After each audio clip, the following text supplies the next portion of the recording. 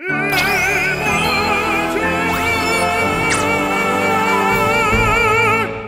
ャオトゥティ、どうも、今井俊介です。はい。今日はですね、声に対して、歌に対しての質問が、まあ、いくつかいろんなところに入っていたので、答えていきたいと思います。結構マニアックな部分もあると思うんですが、まあ、質問、せっかくね、歌のことに対して、声のことに対して質問していただいたので、えー、真面目にしっかり答えていきたいと思います。えーと、まずは、私は、えーカラオケとか行くとどうしても音程が悪く音痴になってしまいます。えー音痴というのはもう治らないでしょうかまたどうやったら治りますか、えーその対処法などを教えてください。あのー僕もあの音痴な方だと思うんです。なんか基本的に音痴の人っていうのは自分の声を聞けてないという可能性があるみたいです。客観的にまず自分がどういう声を出してる、どの音が、えーあるかというのを少しずつこう、んどうって言ったら、だーっていう風に出すんじゃなくて、そこの音に自分が平行でちゃんとこう合ってるかどうかっていうのを合わせていく、調弦していくことがなんかこう必要だって聞いたことがあります。なので、まず自分の声を聞くには一番手っ取り早いのは耳、片耳、指を突っ込んでみる。まあ、どうってやったら、あー、どーだったらこれが、出してる音が、うーんだったらな、こう少しずつこう上げていくような感じ。あー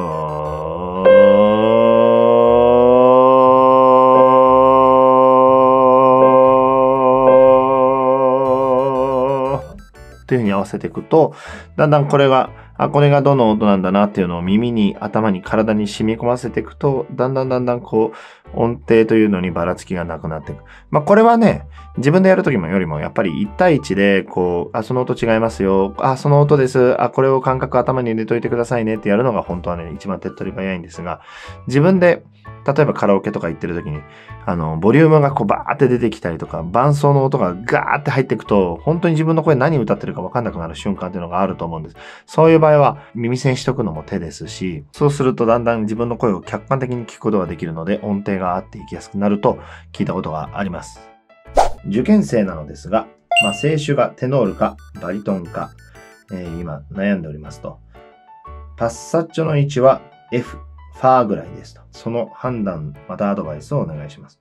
うん、パッサーチョっていうのは通り道、通る道というイタリア語の意味があるんですが、英語で言うとチェンジボイスというのがあって、それは人それぞれ違うんです。もちろん女性も違うし、あのバリトンの人は例えば、レミファ、レミファぐらいで変わるとかですね。あの、ファーからファのシャープの音が鳴ると、えーここでチェンジしていくから、えーテノールですとかっていう判断をする人がいます。意識をしない方がいいっていう人もいれば、それも一理ありますし、意識した方がいいっていう人もいるのも、それも一理あります。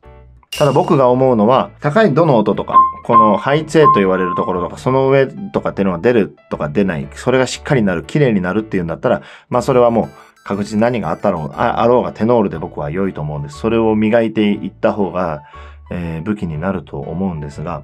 それ以外のところで、えー判断するとすると、高い音が出ようが、出なかろうが、音質と声の色でテノールとバリトンを決めた方がいいと思います。えー受験生というのもあるので、えーやっぱり先生とマンツーマンでその静止を本当は決めていった方がいいと思います。ただ、高校生と判断した場合、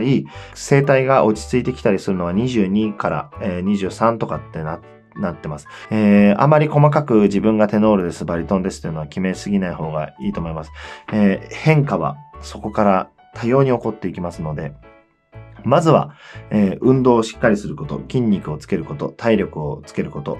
えー運動神経を良くしておくことが僕の中では最重要だと思ってます。まあ、パッサージョが F ぐらいなので、テノール行こうと思えば、それをから判断すれば全然いけるでは、それだけでは判断しますが、でもこれ、実は本当にそうなのかっていうのは、聞いてみないとわからないというのもあるので、まずはですね、えーその先生とマンツーマンでやって、それよりも大事なことっていうのは、体力をつける、運動をすることが僕は大事だと思います。はい。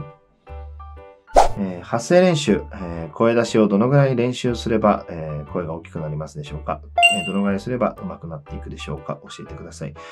あの、声量っていうのは確かに練習をしていけば大きくなっていく。ある程度は大きくなっていきますし、いいと思うので、まあ、ガンガン練習すればいいっていうわけではないっていうのも僕は思います。ただ練習して、その時、あの、しっかりと声を出しとかないと、声ってのも安定していかないっていうのも事実なんで、できれば、まあ、やっぱり1日1回はしっかり練習した方がいいと思います。ただ、受験生とか、えー、学部の人とかにいろいろ僕が言うことがあるんですけども、あの、発声練習というのがストレス発散になっちゃダメです。声を温める場ではなく、声を出す場でもなく、何かを自分で納得させる場でもないんです、発声練習というのは。発展させて進めていって、成長させていかないといけないです。だから自分の中でずん、研究をしていかないといけない時間帯だと思ってください。だから、えー、ストレスがすごい溜まるし、もちろん、あの、プロの方ですね。多分このプロの方が、プロの方というか、まあ、学部生とか、えー、これから歌をやっていきたいという方が聞いてくださってると思うので、えー、その方に関してちゃんと言おうとすると、そういう感じです。でも、声を出すのは気持ちいいので、まあ、しっかり出していただける方、えー、する方もとてもね、えー、いらっしゃると思うので、例えばこう歌を始めてみたいわっていう方は、とにかく声を出してみるということが大事です。ただ、えー、プロとしていろいろとしてやっていこうという方が、例えば思ってらっしゃる方だったら、それをストレス発散の場とかじゃなく、研究の場、えー、先に発展していく、自分の声をどんどんどんどん成長させていく、えー、練習を心がけると思ってください。3時間も4時間も歌ってると、やっぱり、え、僕の中ではどうなのかなと思います。え、1, 1時間半ぐらいに収めといてくぐらいが、僕の中では集中力ができると思います。またそれを開けて少しやるというのもありだと思いますが、えー、ストレス発散で声を出してしまっているといつかは、えー、怪我をしますので気をつけてください。はい。ちょっと真面目なことを、えー、ぐだぐだと話してしまいました。こういった歌に対してとかの質問もね、あの、どしどしお待ちしてるんで、どうぞよろしくお願いします。これはね、本当に僕真面目に答えますから。はい。本日もご視聴いただきましてありがとうございました。高評価、チャンネル登録、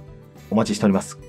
歌に関する動画もどんどん上げていきたいと思いますので、どうぞよろしくお願いします。それでは、バイバーイ。